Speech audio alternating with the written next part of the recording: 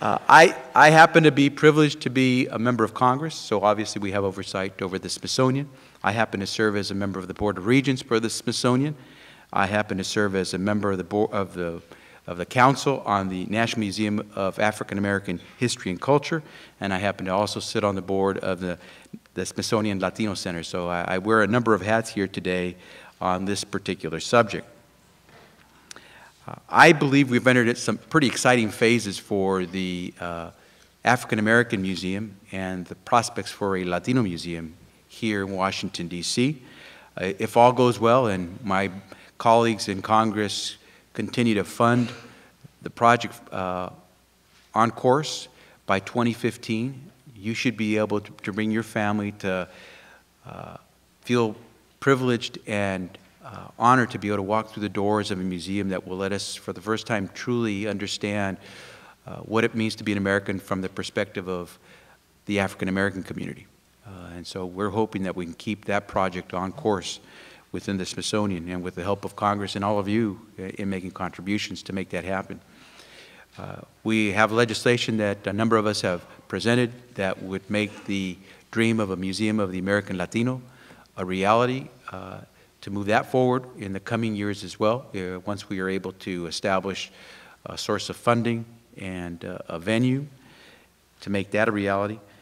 And I think most of us understand that the Smithsonian is undertaking a number of efforts to try to make sure that communities ha that have not always been fully represented on the National Mall have that opportunity. And we have obviously panelists who can talk about all of those things. Um, I unfortunately won't be able to stay throughout the entire portion of this presentation because I have a, a, hearing I have to return to in a short while. But I do thank you all for letting me be here. And Ray, it's always a great pleasure to be with you uh, when you do your work. The uh, African American Museum was a long time coming.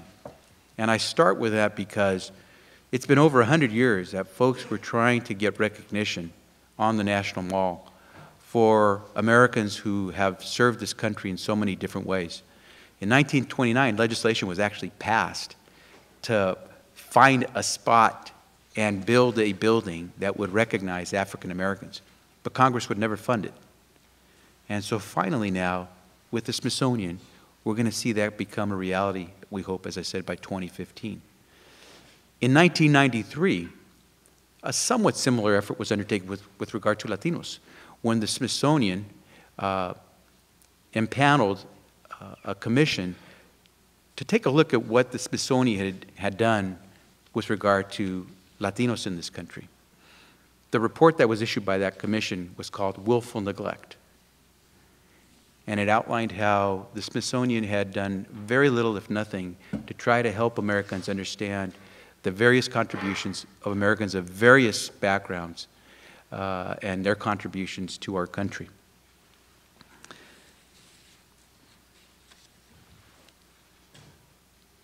Let me read you just a couple of the quotes from that commission report. The report stated that the Smithsonian Institution almost entirely excludes and ignores the Latino population of the United States. It goes on to say, this lack of inclusion is glaringly obvious in the lack of a single museum facility focusing on Latino or Latino American art, culture, or history. That was in 1993. There was a follow-up report that was done by the Smithsonian to move forward through that report and the work that was done by that commission. Uh, the Smithsonian created the Latino Center here at the Smithsonian, and now the notion of a Latino museum has moved forward. But let me do a real quick pop quiz.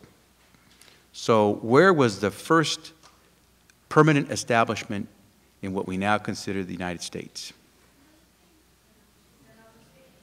Okay, you know, if I should have known, some of you would know. I thought someone, someone was supposed to shout out Jamestown, and then someone was supposed to say, no, no, Little Rock. And then I was going to, I mean, Plymouth Rock and Little Rock.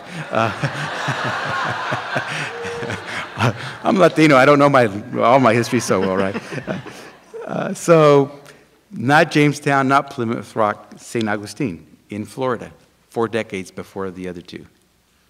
Um, name a soldier who served in, a Latino soldier who served in the Revolutionary War?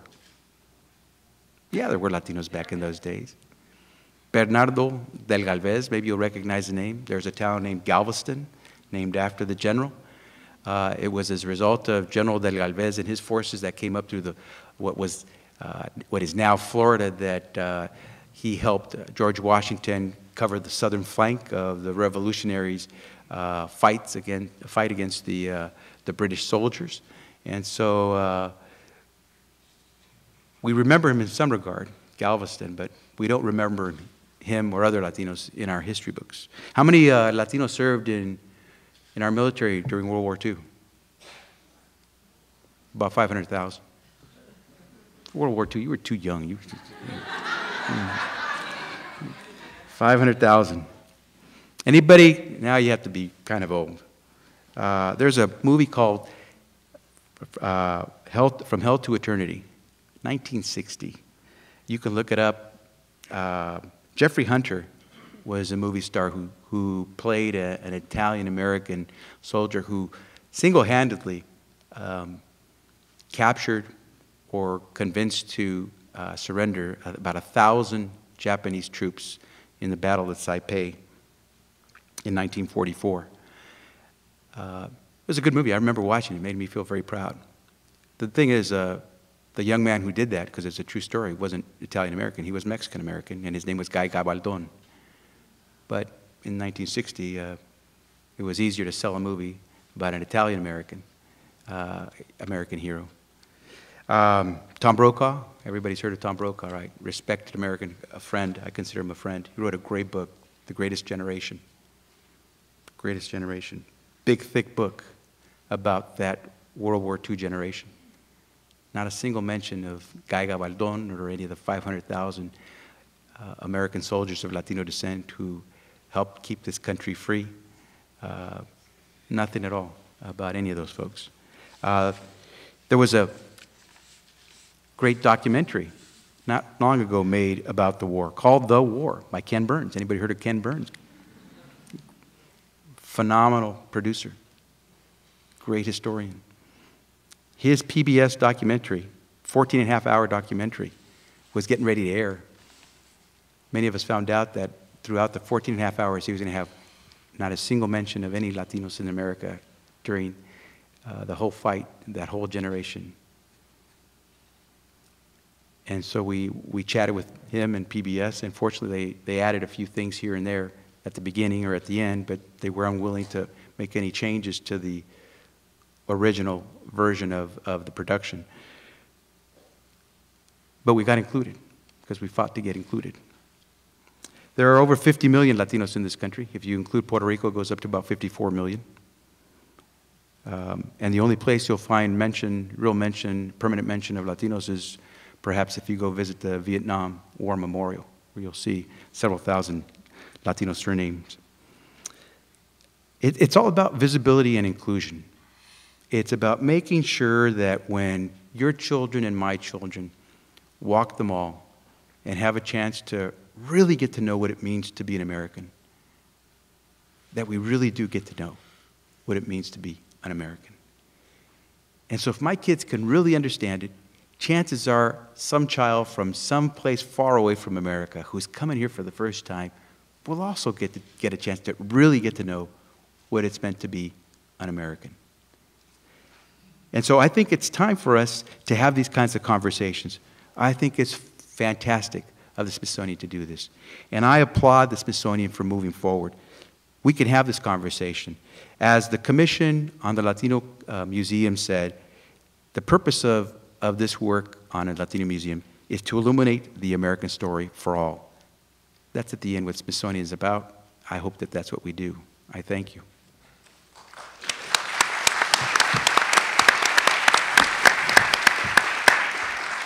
Next, we're joined by Philip Kennicott, critic for the Washington Post. Um, thanks. Uh, it's a kick for me to be on stage where my uh, illustrious ancestor, Robert Kennicott, actually got two mentions this morning. Um, unfortunately, I didn't inherit any of his scientific brilliance, which is why I'm a journalist. Um, I, am a critic. My title is, is art and architecture critic, but I have a slightly wider portfolio than that. architecture often bleeds into urban design, and art is a big enough subject that you do end up taking up larger cultural issues.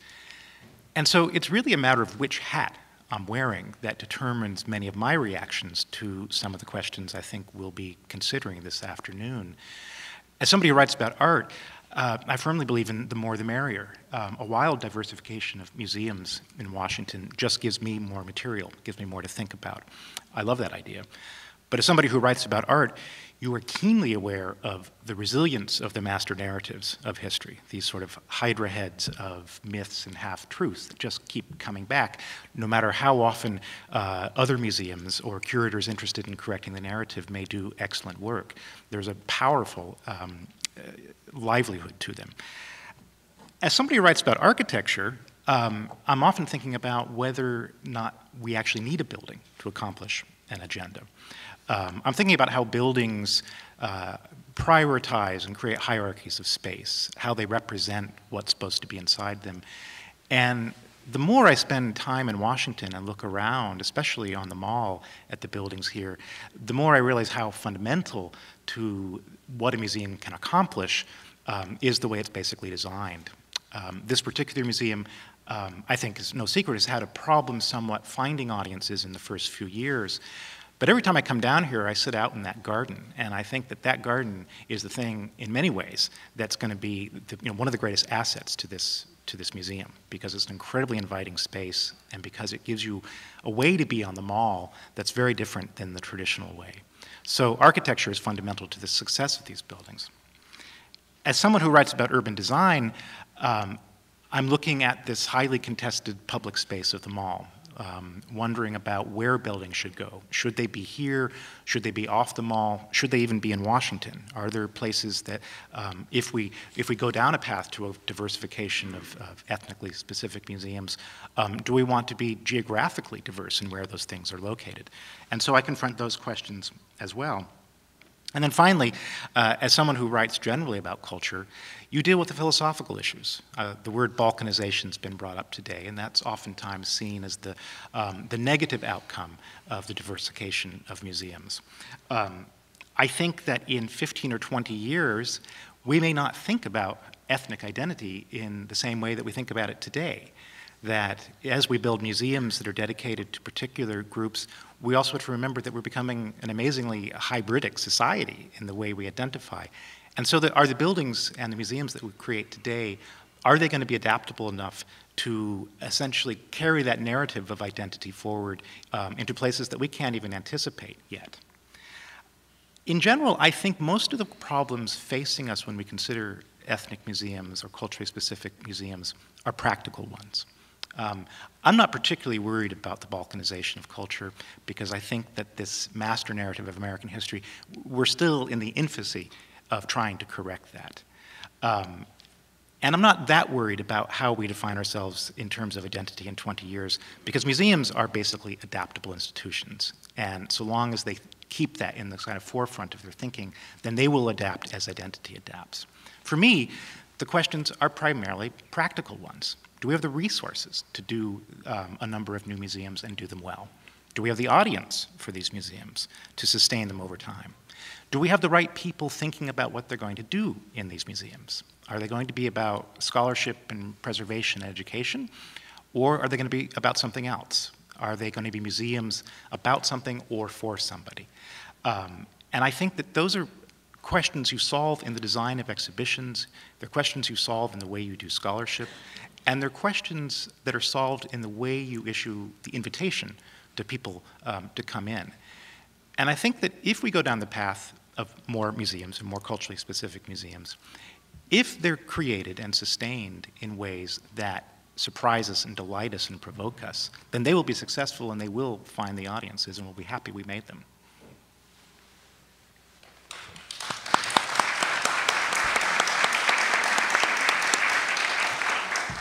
Next, we're joined by David Penney, Associate Director for Museum Scholarship at the National Museum of the American Indian. Thank you, thank you very much. Um, just to begin, I'd like to acknowledge just a couple of things I heard this morning. Can you hear me?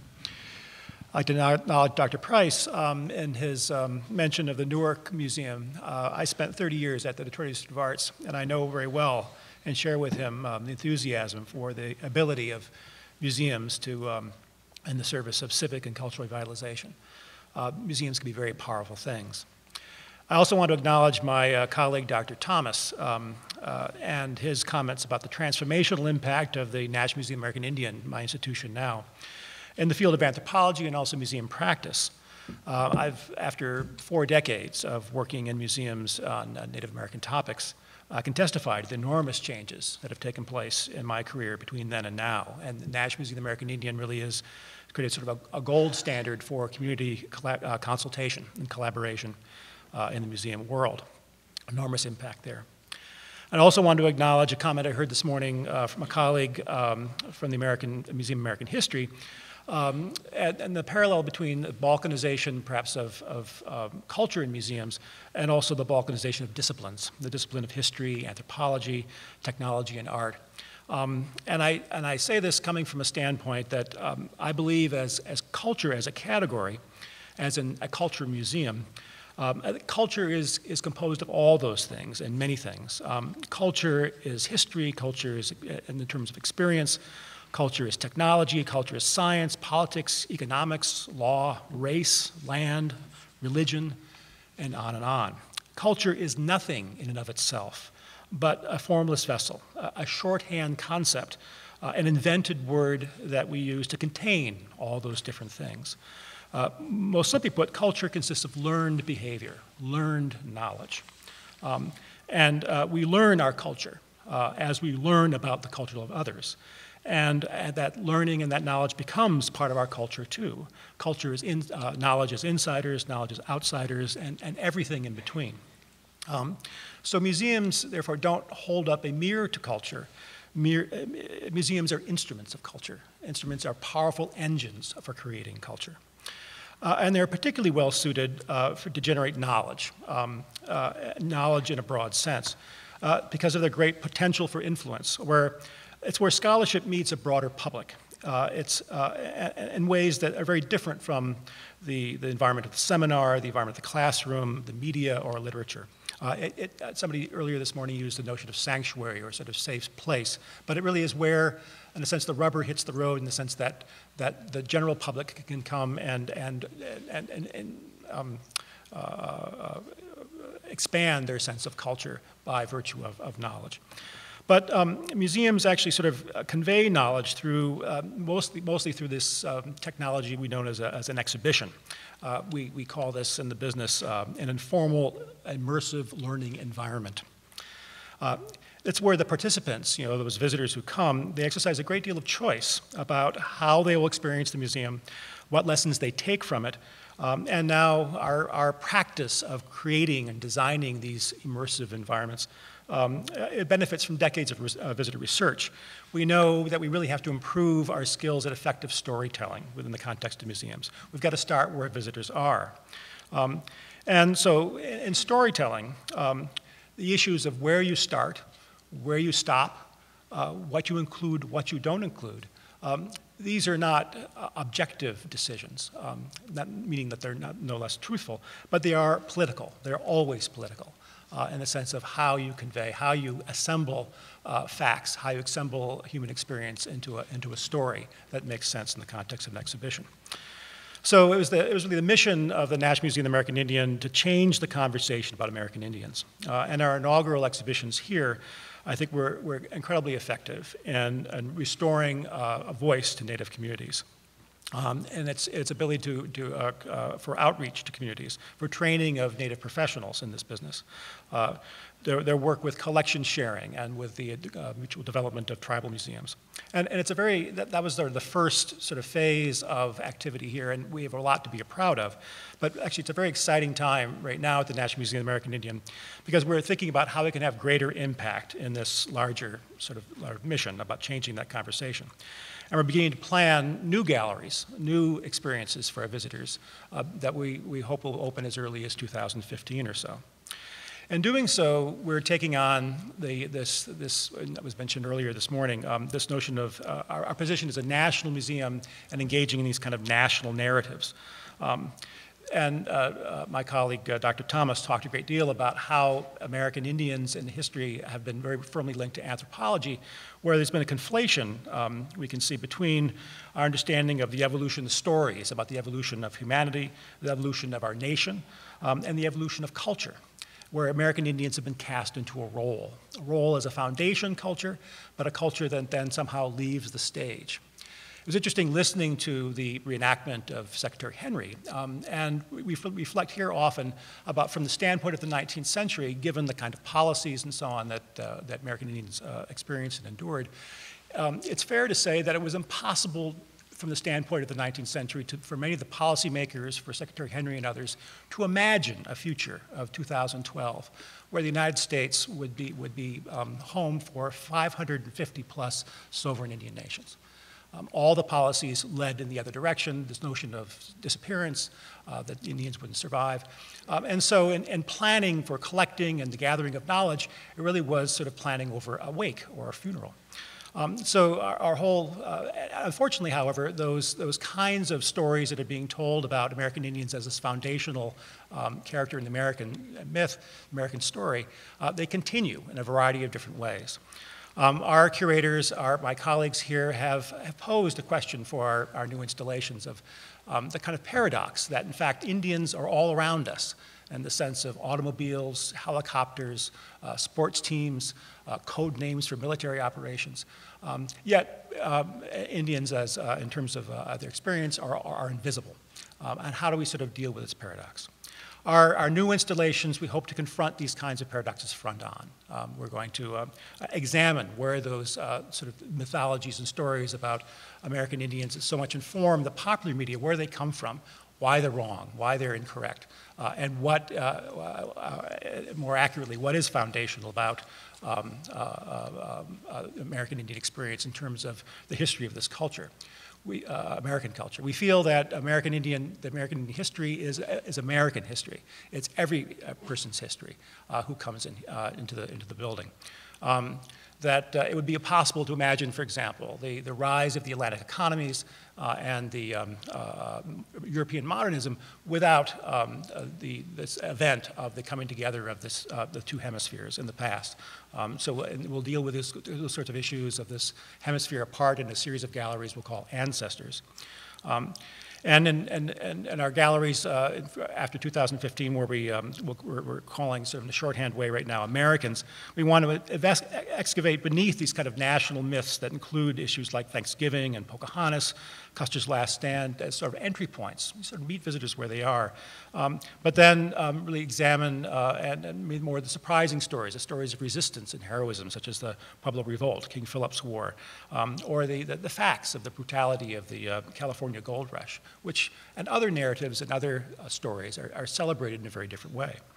And then in present tense, uh, we really want to deal with the issues of the political and social struggle, struggles that resulted um, in the creation, this kind of settlement, uh, very unique uh, in world history today, of, um, the, of modern sovereignty as it exists in the United States, um, and the impact of treaties in these contemporary relations, and, and point out the fact that this is the unfinished business. Uh, there's still a lot to be said in terms of these stories.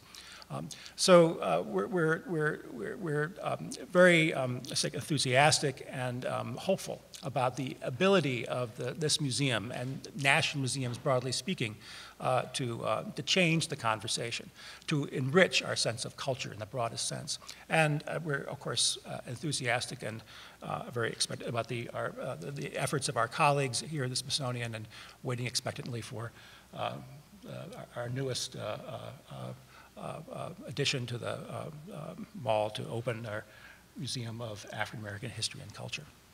Thank you.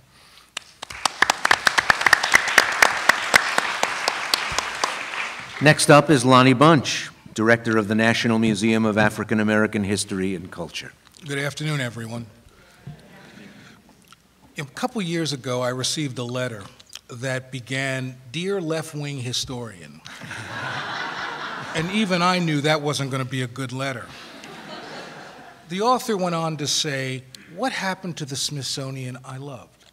It was a place that once celebrated America. It was a place that let me feel proud that I was an American. And now you're going to create a museum that's going to dredge up painful memories. You're going to create a museum that talks about things that are better left unsaid. He went on to say, after all, America's greatest strength is its ability to forget. He then went on to say how left wing historians like me shouldn't be hired, they should be fired, they shouldn't build this museum. He threw me off, though, at the end when he said, Best wishes for your continued success.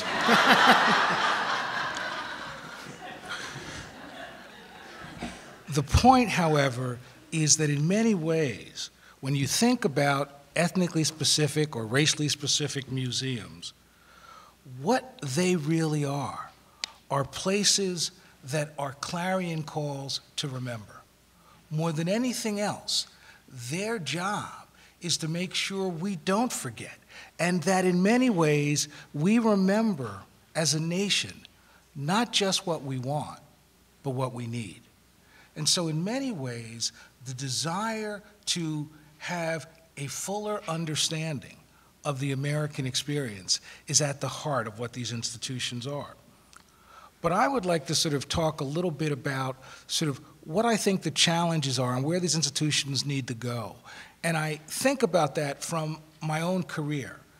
In 1983, I was a young historian hired by the state of California to work at the California African American Museum. It was the first and at that time the only museum in America that was state funded that was wrestling with issues of race and ethnicity. And if anybody remembers 1983 in LA, it was a heady time. The state of California had actually money. Um, that was revolutionary. Um, but it was also a time that the Olympics were coming. And suddenly, culture was important. Museums were being spruced up, new ideas were being embraced. People were coming together to wrestle with the history of this country. And for the California African American Museum, oh, what a time it was. It was a time to build a new building. And I remember thinking, how am I going to raise the $3 million it took to build the building? Oh, if all I had to do, well, that's another story. But it also allowed us to add to the canon. Suddenly it was important to help people understand the role of African Americans in Los Angeles or Oakland or in the Inland Empire. Suddenly it was important to help people realize this amazing array of talent of artists like Betty Saar or photographers like Carrie Mae Weems or sculptors like Richard Hunt. In some ways, it helped the museum learn how to reach out to the state, how not just to be something for Southern California, but how to develop relationships in Mendocino and all throughout Southern, all throughout California. But the point is that while that was important and even innovative in 1984, I would argue that today, museums that explore race and ethnicity must do much, much more. That it's not enough simply to add to the canon. In some ways, these institutions must answer the question how are they of value today? How does an institution demonstrate its worth? In essence, how do museums who care about race and ethnicity go beyond Me Too history? History that simply places people of color within the historical narrative. After all, it was once important to show that there was early black involvement in Los Angeles or that African American photographers existed. But is that good enough today? Or do these institutions, by the work they do, make their communities better? Being of a community being part of a community isn't enough today. I think, since we're talking about the Newark Museum, as John Cotton Dana, the great founder of the Newark Museum, once wrote, museums must recognize what the community needs and adjust their mission, their vision to those needs. In essence, I would suggest that museums that wrestle with race and ethnicity don't need to try to become community centers. Rather, what they need to become is centers of their community, providing things that help the community survive and do what it needs to do.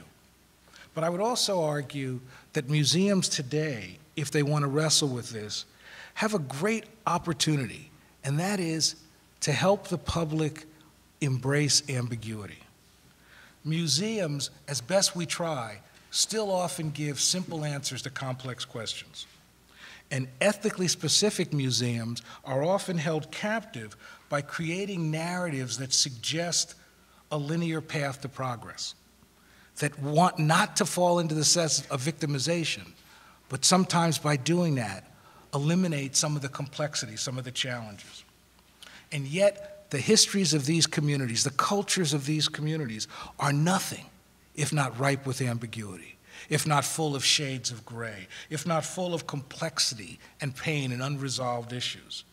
It is essential, it seems to me, that these museums, and by extension, all museums, find ways to help our audiences become more comfortable with complexity and ambiguity. Thirdly, I would argue that ethically specific museums must build on their traditions. In many ways, these were the most innovative institutions in America. Remember, these are the institutions that made a commitment to education and audience long before other museums cared about that. These are the institutions that recognize the need to collect oral testimonies and preserve collections that weren't considered high art or worthy of these museums. And maybe more importantly, these institutions always understood something that other museums are now wrestling with that culture, that museums are political. In essence, I would argue, most importantly, what is the future of these institutions is that they must reclaim their Americanness. They must demonstrate that while they are of a particular culture, and that that culture is important to a particular community, they must also show that their history, that their presence casts a greater shadow that goes beyond their communities. In some way, all of this shapes what the what I was going to say the California African American Museum. See where I am. Um, where am I doing the National Museum of African American History and Culture? Um, what that is, because in some ways, as we try to create this, the vision for this museum really reflects those issues. First of all, it is a museum that has to help Americans to remember. It has to help Americans remember the people they think they know, the kings, the sojourner truths, in new ways. It has to help Americans embrace amazing stories of people they don't know. The, the enslaved woman who got up every morning and fed her kid and made sure the field didn't strip her of her humanity. Or the family that left Mississippi for the south side of Chicago in 1913. Or people like my grandmother who did wash and washed other people's floors to make sure her children or grandchildren wouldn't have to. But in some ways, this museum has to do something that is hard for a place like the Smithsonian. It has to help America confront its tortured racial past. This has to be the place that makes you cry or at least ponder over slavery, over segregation. This has to be the place that makes you realize that we haven't often lived up to our stated ideals. But it also has to be a place that allows you to find the joy that is in this community. You've got to be able to tap your toes to Duke Ellington or Aretha Franklin or Celia Cruz or somebody from the hip hop world. I have no idea who it is. Um, but somebody on my staff is 12, they will know. But in some ways, if the museum only helps people to remember, then I would argue it shouldn't be a national museum. In some ways, a national museum needs to take African American culture and clearly use it as a lens to explore what it means to be an American. Not what it means for black people to be Americans, but what does African American culture mean and how has it shaped profoundly the American experience? I mean, think about this. Often, when I go up on the Hill and I get the chance to see Congressman Becerra, there are often other members of Congress who ask questions of me that say, Well, what are the core values of this museum?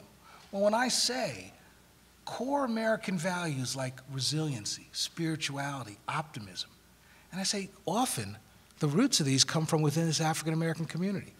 In some ways, the, the story is simple.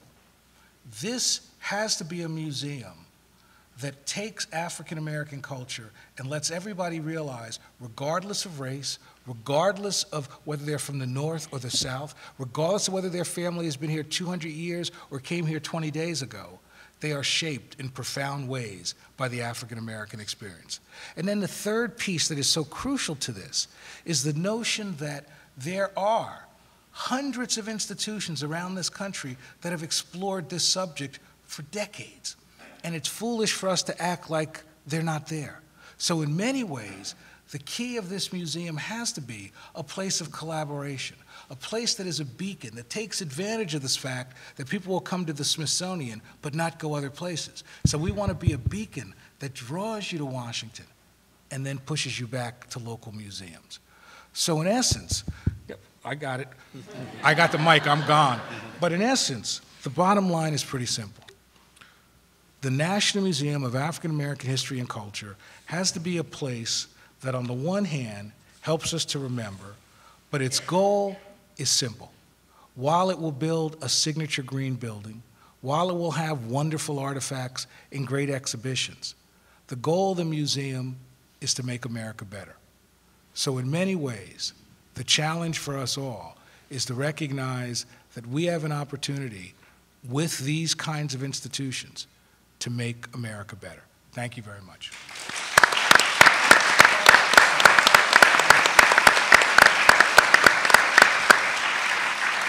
And finally, we're joined by Konrad Ng, Director of the Smithsonian Asian Pacific American Program. Well, um, aloha, if I may use a greeting from my home state. I'm honored to have the opportunity to join colleagues who are as passionate about the, the, important role that museums play in our life as uh, I am. Uh, thank you to the many people who helped realize today's event, with special thanks to uh, Elizabeth, who is the proverbial glue uh, that held this project together. Uh, finally, uh, let me express my gratitude to the National Museum of the American Indian for the privilege to speak. While this building is a public space, I also acknowledge that it is sacred ground. Almost 14 years ago to this day, the Honorable Norman Mineta submitted to then Secretary of the Smithsonian, Michael Heyman, the final report of the Smithsonian Asian Pacific American National Advisory Group. This was a special task force, uh, force created by Smithsonian Provost, Provost Dennis O'Connor. The document was, the, was, the, outcome of a two-year study uh, by a group of prominent uh, representatives from academia, the corporate sector, philanthropy, museums, and included Senator Daniel Inouye. The report stated that, quote, historical and contemporary significance of our presence in the United States is largely absent from the Smithsonian's collections, research, exhibitions, and current planning. This is 1998. The commitment to, uh, to Asian Pacific Americans by the Smithsonian, they wrote, would improve the Smithsonian's standing as the agent of America's rich heritage and, quote, improve the public's appreciation of the crucial roles that Asian Pacific Americans have played United, in the United States and simultaneously empower Asian Pacific American communities in their sense of inclusion. Now, I'm always struck by these opening arguments. Since the advisor group claimed that for Asian Pacific American communities, the Smithsonian Institution was, at least in the late 1990s, an ethnic and culturally specific American museum vis a vis its lack of inclusivity, and more importantly, this absence was affecting our civic health. Since the publication of that report, the Asian population in the US has grown faster than any other race group in the United States, increasing by over 43 percent between 2000 and uh, 2010, and composed of some 19 Asian and Pacific Islands groups who number over 16 million people and constitute 10% or more of the population in many U.S. cities. Yet the Smithsonian's resource priorities often request support for what we already have, as opposed to asking for support for what we need, which are often the objectives of mission critical initiatives. In this scenario, Asian Pacific American history, art, and culture which is already generally absent from what we have, will continue to be absent. The story is, of course, similar to the stories behind the creation of the National Museum of the American Indian, the National Museum of African American History and Culture, and the proposal for the National Museum of the American Latino. But let me suggest something different, maybe even novel. Ethnic and culturally specific American museums are vehicles for sustaining relevance, they're sustaining the relevance of museums by not only being relevant to a populace that they purport to reflect, but they can have the force of relevance specific to, digi- to the digital age. The current shift towards digital platforms and technologies as the site for knowledge and learning has meant that museums, in their collections based uh, physical object ethos, are lagging behind a digital model of engagement. But the challenge in the digital age, I suggest, is not the adoption of technologies, platforms, and softwares that keeps pace with their changes, but how may we adopt a progressive role for museums to play? Over the past year, both the New York Times and the Washington Post reported that minority communities, and specifically Asian Americans, are using digital media te and technologies as a means of circumventing the traditional media industries and markets that have historically excluded them. While there are few bankable Asian American stars in film and television, and stereotypes continue to obscure the understanding of Asian American life or prevent our inclusion in discussions about American identity, a generation of Asian Americans is flourishing on YouTube and other so social media platforms, and according to reports by the Pew Research Center's Internet and American Life Project, English speaking Asian Americans are internet users at higher rates than the national average. Now, my claim is this because of the historical exclusion from our institutions and industries of culture, minority subjects and communities, like Asian Pacific Americans, are producing online cultures and partnerships that are as compelling and as important as life in the, online, in the offline world. In fact, online space is the only space that they can claim as their own. Online life is where history is taking place, it's where ethnic identities are being expressed, and it is as meaningful as the material objects collected to create a museum. Now, when the Smithsonian commits itself to digitization, when museums commit themselves to digitization, it ought not to limit its activities to improving collections management, as the collections themselves could be more diverse, or limit activities to amplifying public engagement and incorporating the latest invention, but it should devote resources, resources to how we may treat digital media as the vehicle for culture and heritage. To, par to paraphrase the work of a media studies scholar and, and colleague of mine, Lisa Nakamura, rather than bringing minority critiques to bear after the shouting is over, uh, she said, those with expertise in the fields of race and ethnicity can bring our experiences to bear on digital media while it is still in formation. To spin a, uh, to spin a phrase raised this morning, the paradigm of, the, of a master's house and what that is, and the master's tools and what they are, have shifted. Let me return to the topic of this panel. What is the role of ethnic and culturally specific American museums? Uh, last week, a um, woman at the uh, Asian American Studies Conference expressed to me that she did not view the Smithsonian as being relevant to her. There were other venues for the preservation and, importantly, appreciation of her Asian American heritage. As I was listening to her story, I thought of uh, another colleague of mine, uh, Chris Lu. He's the, at the White House, uh, as the White House Cabinet Secretary. And he pondered these scenarios during a recent keynote address. Would America have a different understanding of immigration, migration, and citizenship, or the debates around the DREAM Act, if we knew more about the Chinese Exclusion Act of 1882, which occurred 130 years ago to this year? Would America have a different understanding of the balance between freedom and security and the feelings of South Asian, Muslim, or Arab, or Arab Americans in a post 9 11 world if we knew more about Executive Order 9066, which led to the internment of Japanese American citizens and immigrants, which occurred 70 years ago to this year. Would America have a different understanding of travesties like Trayvon Martin if we knew more about the death of Vincent Chin, which occurred 30 years ago to this year? Museums are the souls of our nation, and they can be our conscience. Ethnic and culturally specific American museums allow us to rethink the sources and sites of the official story, including our own origin stories, and, widen, and they can widen the range of symbolic material used in the construction of American identity and history. In this sense, the goal is not simply to preserve examples of American exceptionalism, that is, those proud and unique parts of the official story, or suggest that Asian Americans exist as the model minority for the digital age. The goal is to consider how digital media brings into being potent forms of heritage and collaboration, and to bring to bear Asian Pacific American experiences of power and history. Now, I would be remiss if I did not say that our stories do not exist in isolation. That Asian Pacific Americans should and do see ourselves as part of the experience of American Indians, African Americans, Latinos, and others, and we should be part of their museum plans too. Asian Pacific American online life can be a tool for research, a method of preservation of public good, um, and a way to reflect on the relevance of museums in the quest for knowledge and their role in supporting our civic health in the digital age. Thank you.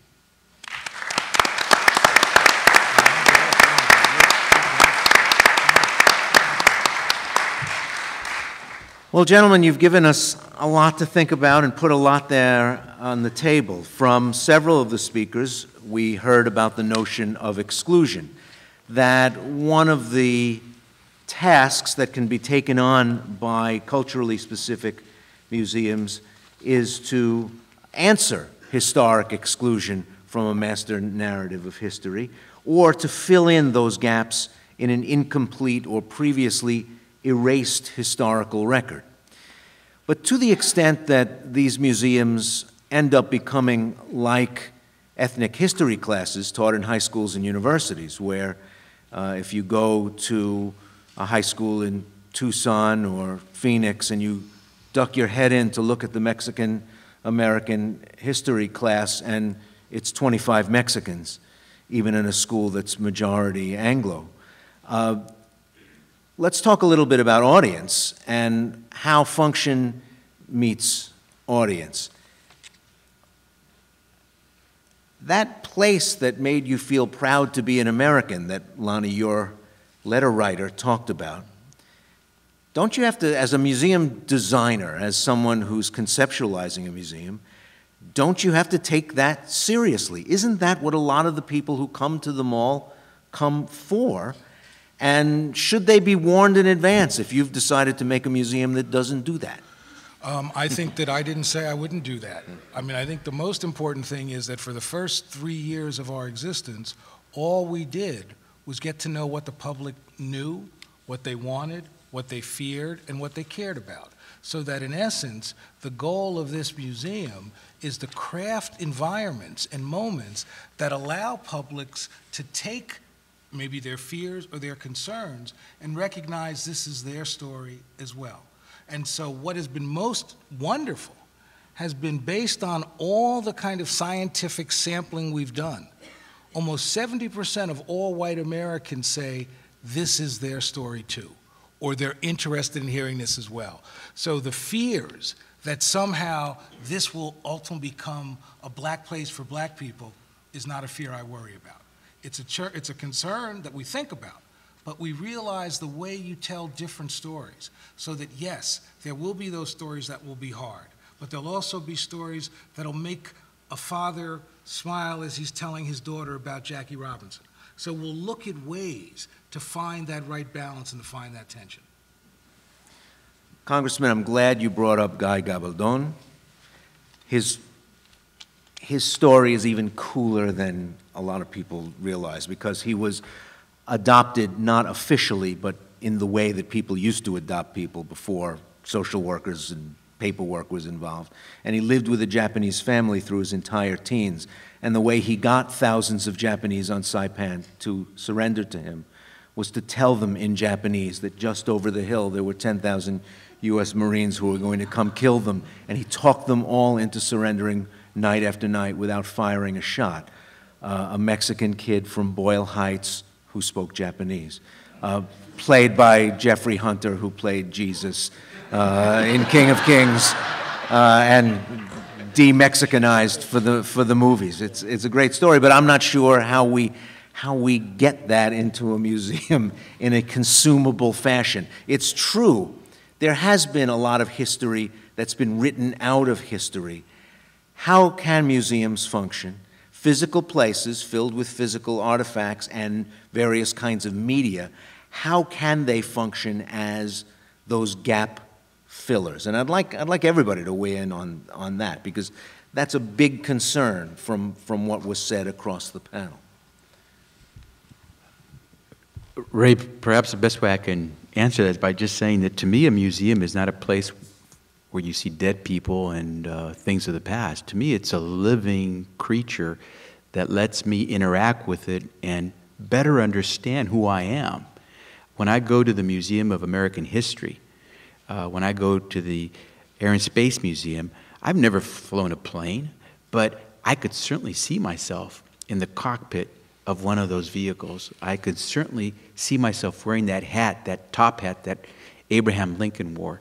And I hope that that's what every American who walks through whatever museum we have will feel when they get to step into that place, that prison cell that Martin Luther King was in when he wrote that wonderful letter, or uh, experience what it was like to be on a, uh, a fast, uh, as Cesar Chavez was, trying to fight for the rights of farm workers and experience that. That's, we're, we're in there to live.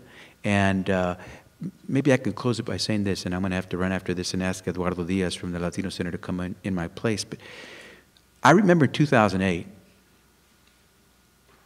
a lot of folks in this country, including the Latino community, are saying, you know, if Barack Obama wins the nomination, Latinos aren't going to vote for a black man. You know, there's this black brown tension going on. And, you know, there, there aren't a lot of Latinos going to want to vote for this guy. At the end of the day, Barack Obama got more votes from the Latino community than Bill Clinton did. And uh, Bill Clinton got more than I think any president I can remember from the Latino community. Why? Because Latinos lived Barack Obama's story. In Barack Obama, Latinos saw themselves. And certainly I know mothers and fathers saw their children in Barack Obama. And so the beauty of America is that we're not going in to see dead people or learn about some faraway, long in the history artifact. We're there to learn about ourselves because we really are them and they really are us. And so Barack Obama is as much me as he is someone who considers himself African American. And I think that's the beauty of these museums is they will continue to tell that story, but in a living, growing way. And that's why I hope we do this sooner than later, because my kids are going to get old soon, and uh, I want them to be able to go soon. Thanks, man. Good to see you. Um, you know, your earlier question, Ray, about you know how you get people to sort of go in and, and, and break down the resistance to, to learning about stuff that may make them uncomfortable. I think that we, we shouldn't, on a panel like this, underestimate that problem. You know, I think there's, there's a lot of uh, right-minded thinking on this panel, but that is a real problem. And a lot of people, when they bring their kids to Washington, D.C., um, I think they feel like they don't want to go into a building where it's going to be depressing or, or confrontational or difficult. So how do you get around that? Um, the reason I stressed in my remarks the importance of objects is I think that if you present the museum as a collection of things first, rather than as a collection of moral lessons, you're much more likely to get people to come in the door. And then the moral lessons, if they're, uh, if they're to be taught, emerge from the things themselves. Um, I was thinking of a uh, PBS program that I've seen a couple episodes of called History Detectives. Um, it probably makes academic historians wince, but it actually does a really good job of breaking down the sort of resistance that you need to get people to listen to stories they wouldn't think of. It begins with objects, and then there's a study of what this thing is, how was it used, where did it come from, and through that process, you learn a lot of stuff about Chinese American history, about Latino American history. Um, but the, the narrative isn't one that begins with a moral lesson and then finds the evidence for it. It's one in which the, the moral lesson really becomes sort of obvious, but, um, but not, uh, not put forth in such a way that you're inclined to sort of get your back up and resist it. Um, and I think the more museums think in those terms, the more likely they are to, to get people to kind of make that first entry. And then once they've done that, I think, you know, 80% of the battle is over. Well, I'm glad you brought up History Detectives because the only other mention of PBS was of Latino exclusion from the war by Ken Burns. So at least this, this evens things up a, slight bit. You know, people are ready for a downer, and it's one of the most crowded museums in Washington. People flock to the Holocaust Museum, but it's a bad story about bad things that other people did to other people. And I'm wondering if that's centrally, importantly different from the stories of other people on this continent that also include great crimes and great sins. Of course, one of the great challenges is that when we first started creating the African American Museum, people said, well, there was a core that said, make it the Holocaust Museum. But as you've rightly framed it, one of the great strengths of the Holocaust Museum is the bad guys aren't American. And so, what is really a challenge is to find out how do you balance the notion of the kind of resiliencies, the notions of the sort of perfectibility of the Republic with the realities of some of the stories that aren't pleasant, that are difficult. But I think the bottom line for us is that what people are telling us is no one wants to go to a museum where you're depressed every time you turn the corner. But what people want to do is they want to understand their history. They want to understand who they are. They want to understand complexity. And the benefit of the Smithsonian is people will give you that benefit of the doubt they may not give at other institutions because they're coming to do the Smithsonian. So that one of the challenges is not to get them in the door, unlike some places, but to make sure once they're in that you're able to tell a diversity of stories that engage as well as prod. If you have some questions, please uh, head to the mics. Go ahead. I think it's im- important that we try to expand the notion of the museum beyond the, no, uh, the idea of objects in a building. I think we're, I think we're at the stage where more people come to the Smithsonian online uh, than they do through its doors. And what's changing about that is our relationship to the museum itself and its role in our life and the way in which we use it and feel some part of ownership to it. So I think there should be investments, as I noted earlier, not just leveraging what we got, but trying to create a form of engagement that is, in some ways, culturally specific and ethnic specific, because that's where some of the, uh, you know, some communities are preserving their history. Because they've already lost their faith, or they feel that uh, in the institutions, or they feel that it's uh, too much of a steep climb to get back in. So I, I just want to note that we shouldn't exclusively think about space or objects. While that's always going to be part of the equation, I think we need to be innovative about being online and moving beyond our, our reach. I, I just wanted to add that it seems to me that too often in these, uh, this kind of conversation that um, we, we separate or sort of distinguish between stories that are stories of celebration versus stories of critique. Um, on the other hand, what, what, our visitors tell us, and, and I'm you know, very interested to hear the research that um, uh, uh Dr. Bunch did, and the research that also I'm familiar with, what people are looking for are stories that are meaningful to them, that relate to their lives. Um, and um, I, although and I, I, I very much um, appreciate the opportunities that you know, the web offers and uh, online experiences, but uh, in addition to that, um, there is a unique um, and powerful capacity that objects have as these kind of time machines to transport people back to a particular time and place by virtue of contact or relationship to the object. The difficulty, of course, is that museums face is that how, do you make those objects speak in a way that people can understand them? Uh, and that's where museum craft and storytelling comes into play. Um, and we know when we do it right. Um, it's not about making people feel bad. It's not making them feel, you know, to a certain degree, it's making them feel more human. Um, and uh, I think within the, within the kinds of narratives that we're talking about, uh, with all ranges of different Americans, um, no matter their racial or ethnic background, there are stories there that are profound human stories that can be told in museum spaces um, that, uh, as, as, has been said before, really very, very much contribute to, to um, a sense of being a human being, but also, and, and dare I say, being an American as well.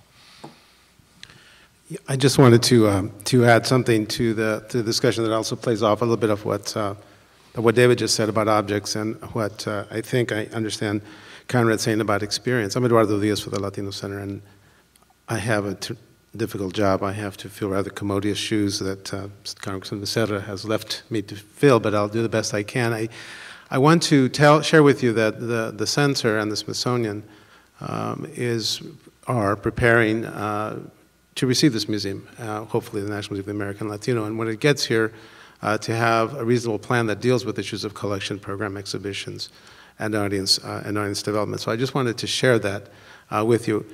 This is really very much a collaborative uh, uh, piece of, it's, it's a very collaborative um, process, I should say. Um, why? Because the Latino community is everybody. we are black, we're Asian, we're indigenous, we're European, we're Asian, uh, every religious community possible, uh, gay, lesbian. We are, we are all of this, and we have, as, as a result, we have a, an obligation, I think, to focus on all of that diversity within this diversity, and happy to do so. It's funny, yesterday we had a meeting uh, that was, we had folks from Konrad's program, we had folks from the National Portrait Gallery, we had folks from the National Museum of African American History and Culture, John Franklin joined us, and Kinshasha and other colleagues. Folks from the Center for Folk Life and Cultural Heritage, and of course the Latino Center, to talk about a program about Joe Bataan. Joe Bataan was uh, Afro-Filipino, raised in East Harlem, and the king of Latin soul. That's who our community is.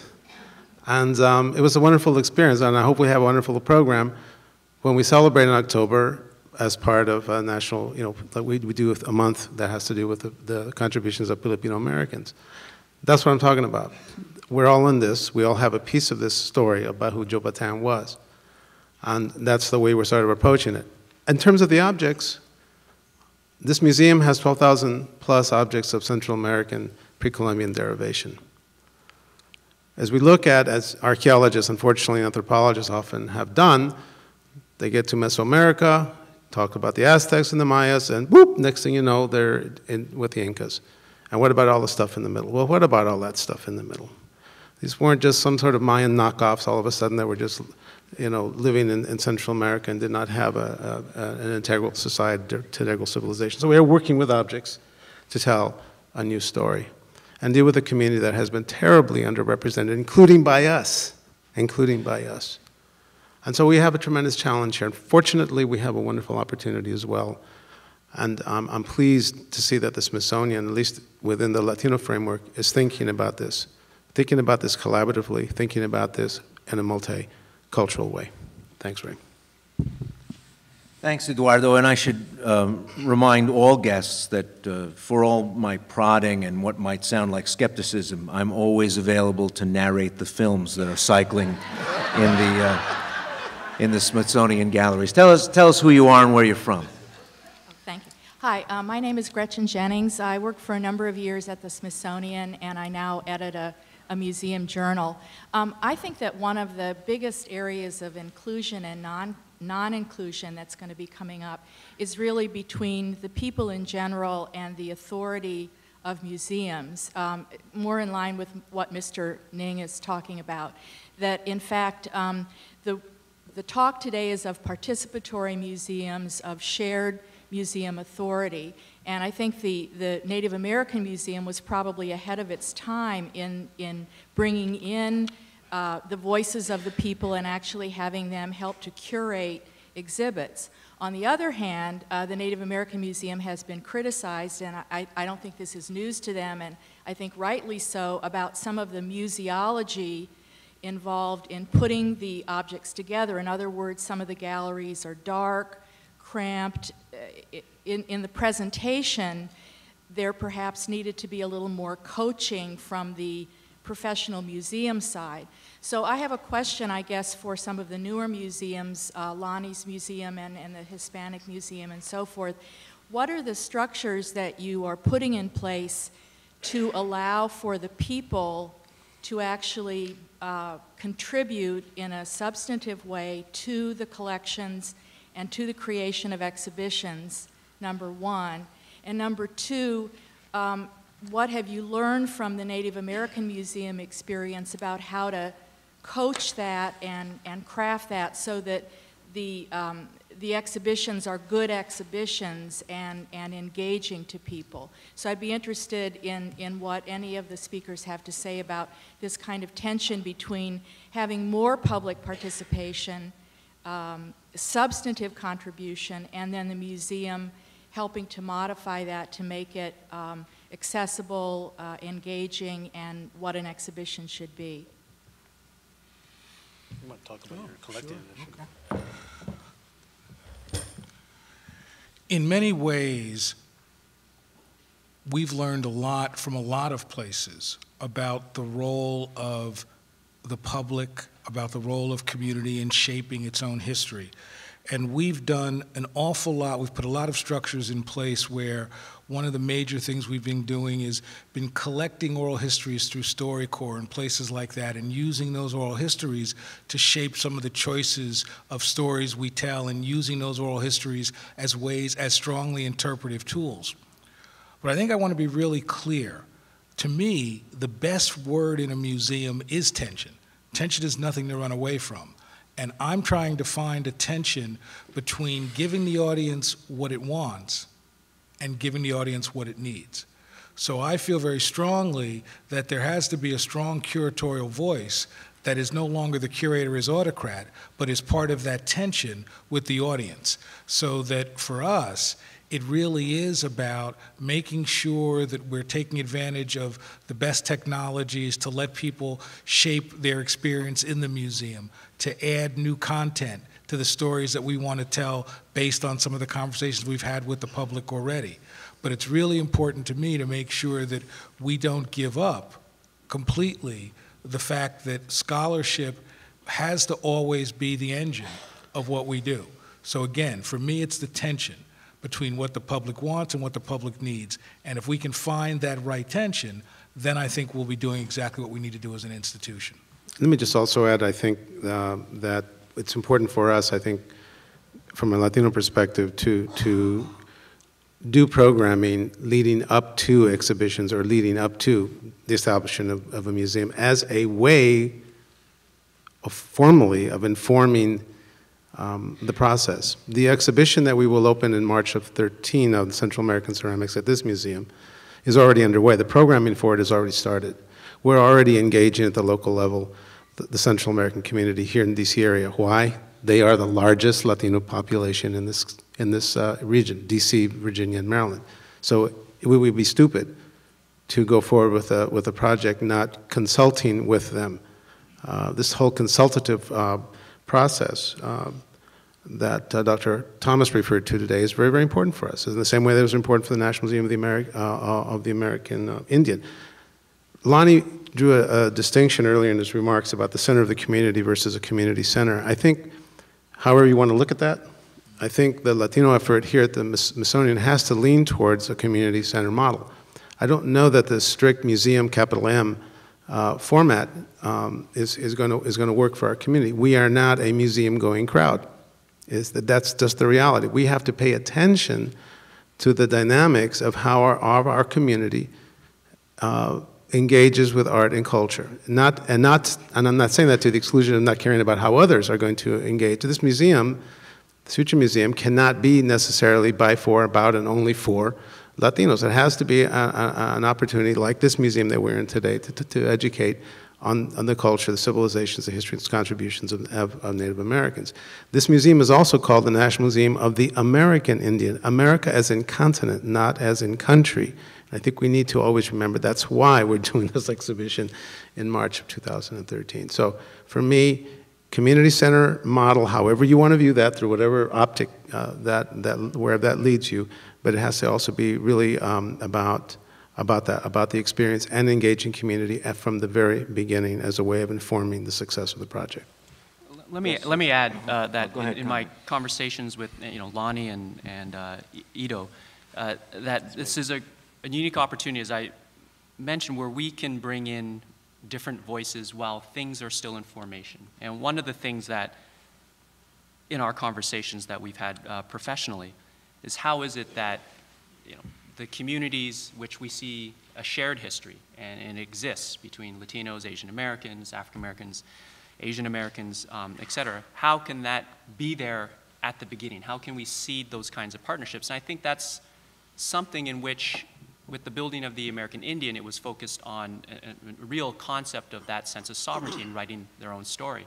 I think that what we can learn from that and moving into these other, muse other museums that are being built is how can we bring in those partnerships at the beginning? And that's not just consultation, that actually means devoting resources from curatorial or scholarship. Uh, I take the point about the power of objects, but you need to hire someone who understands it in a way that's complete as opposed to just singular. And so it's really important that we would have these conversations in the inception of these museums. John Franklin, the National Museum of African American History and Culture. What I wanted to say earlier was that indeed these museums do not exist in isolation, and collaboration is very important. And I wanted to uh, ask Eduardo and Konrad to talk about what Eduardo already raised, this program on Joe Bataan. But I also wanted Lonnie to share with you the two collaborations we've had, one with the American Indian and the current with Monticello.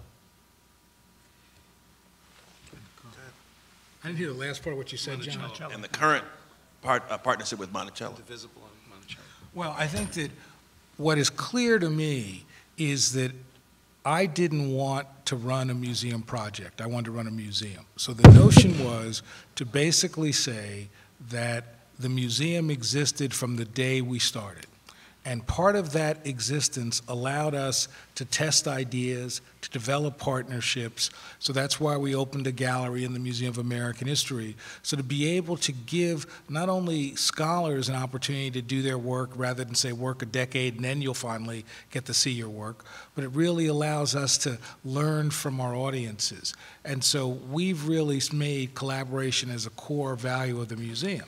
So part of what I know from being at the Smithsonian so many years, and this is my third time back, that in essence, the Smithsonian has an amazing opportunity. It has an opportunity to give people different portals into what it means to be an American. You can go through the Air and Space Museum, or the Smithsonian American Art Museum, or the Indian Museum, or the African American Museum, and ultimately, we're all giving you a comparable story, but through very different lenses. But what it also means to do that is that we have to do something that we don't do all that often in the Smithsonian, which is collaborate with each other. And so I think for us to begin to work with the Indian Museum on the Indivisible show looking at blacks and Indians, to work with the Latino Center, that for us, this is all about not only improving what the Museum of African American History and Culture can do, but also facilitating so that the Smithsonian is made better by our presence. So ultimately, this is less about what it means simply for one museum and more about how it helps the Smithsonian be the kind of 21st century museum that people will still find meaning, uh, people will still find important, people will still be able to shape as we move into the future. Yes, Miss.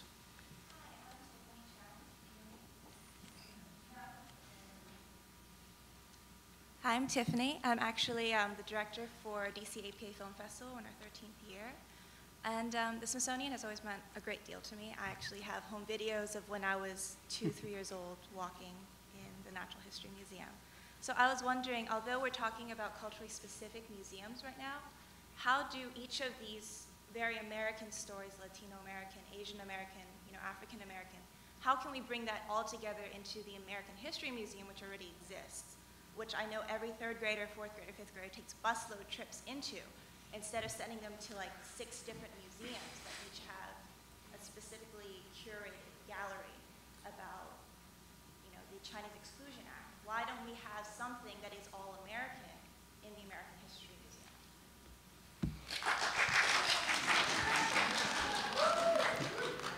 That's a really important question. The challenge is that it's impossible to do that. Um, that in some ways, for many years, I was in charge of all the curators at the Museum of American History. And the goal was to make sure that you tell as many of these stories as you can. there are real practical reasons why it's difficult to do that. One is that it, I'd love to have $90 million when I was there and redo the whole museum. But I think the other issue is that the notion of the complexity of the past has grown over the last 40 years because of scholarship.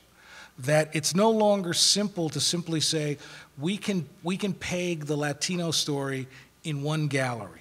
Or if we explore X, that's solved, that, we've checked that off. In essence, what I hope will happen is through these collaborations, there will never be one place where you learn Asian American material or you learn African American material, but rather there is the opportunity for the conversations within the Smithsonian so that every museum will play aspects of that out. But every museum cannot, the shoulders are not broad enough to carry it to the level that maybe you can do in a new Latino museum. So for us, it's really the goal is trying to find a balance to make sure wherever you go, you're touched by the rich diversity of America, but recognizing that you can go other places and to go very deeply. So if you look at the Museum of American History and you see that there are two helicopters in that exhibit talking about Vietnam, but if you really want to know about helicopters, you better go to Air and Space Museum, and there's nothing wrong with that. And in fact, that's the strength of the Smithsonian. I, was just going to add that um, part of it, I think, has to do with, I think, what Lonnie's talking about, and about what uh, Philip knows a lot about, and that's architecture. Um, you know, it's, it, it's, the, the, building is, has, has issues. And, and I also want to return to, the, but, you know, I don't know if we can fix those, or those are big fixes, very expensive fixes. But it really actually ties into something that uh, Dr. Price said this morning. That was the whole dichotomy between temple and forum.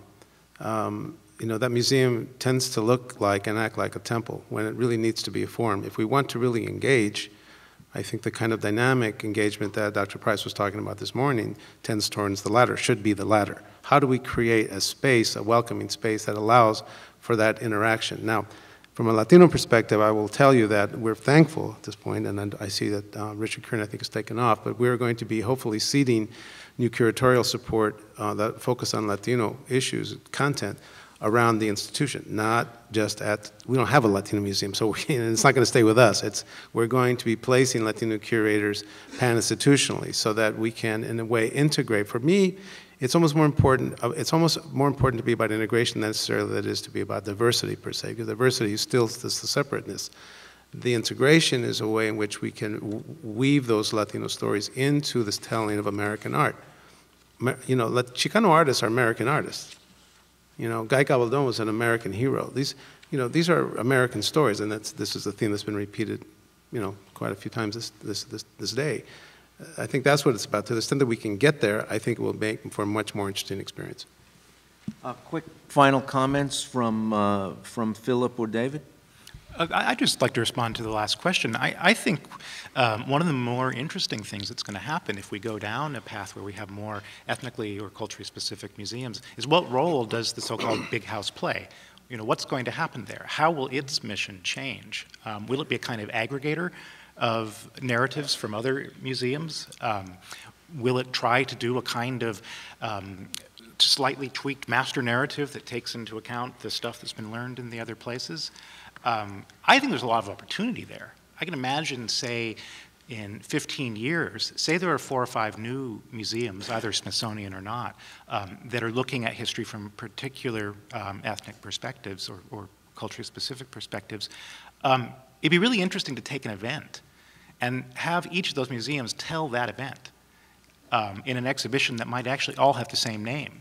Um, and then let people actually move from the Americanist Museum to the Latino American Museum or the African American Museum of History and Culture, and, and hear the same story. You know, is, is, it going to be like four different symphonies, you know, four different orchestras playing the same symphony? Or is it going to be something radically different that you don't even recognize the same event in these four different presentations? I think we'll learn a lot from that experience. I think I saw that movie. no, no I, I, think it's an issue of granularity. Um, that in the, the, the the, the difficulty, the, the, difficult task that the Museum of American History has um, is, is its, its scope. Um, and I, what I hear in that question is a fear that given the fact that we've created these other uh, culturally focused or ethnically uh, centered museums, will that become then the Museum of White History here at the Smithsonian? Um, and some would argue, well, that's what it was. But I, I think the, the, the I, I, take the point uh, uh, that we just heard is that, that the, the scholarship here at the Smithsonian is engaging in that master narrative. Um, and it's engaging it from a number of different directions. Um, and in terms of how we're going to portray that narrative and, and pieces here, pieces there, uh, different perspectives, um, that will have an impact on the, the, the larger narrative uh, of, Amer of American history that's addressed over there. And it already has, and, and will continue to have. Um, so, uh, in the sense that, that um, um, I always like to think that, that sort of life is short, but museums are long. Uh, we like to see change uh, happen very quickly.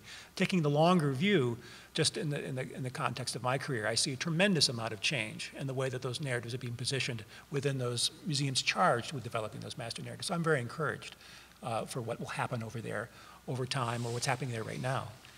I'd like to just add my, uh, my thoughts on that. I mean, it's a challenge that uh, certainly all the Smithsonian uh, museums face in terms of engaging a changing demographic, regardless if it's a helicopter or it's uh, something else like a heritage and the like, although those aren't exclusive or, of each other.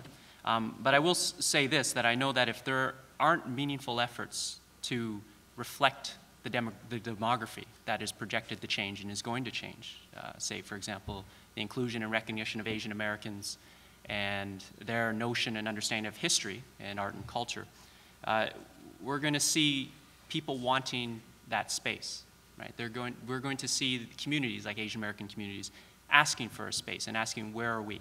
Now, if we don't, if we don't address that, if we don't consider our, our notion of museum, museumology as beyond objects in a building, if we don't change both of those cultures, we're going to be continuing this discussion. Um, and I, I can sense that, I can see that uh, from the community and obviously from your uh, question and the organization that you're affiliated with. It's something that both you and I know. Please thank Eduardo Diaz, Philip Kennicott, David Penney, Lonnie Bunch, and Konrad Ng.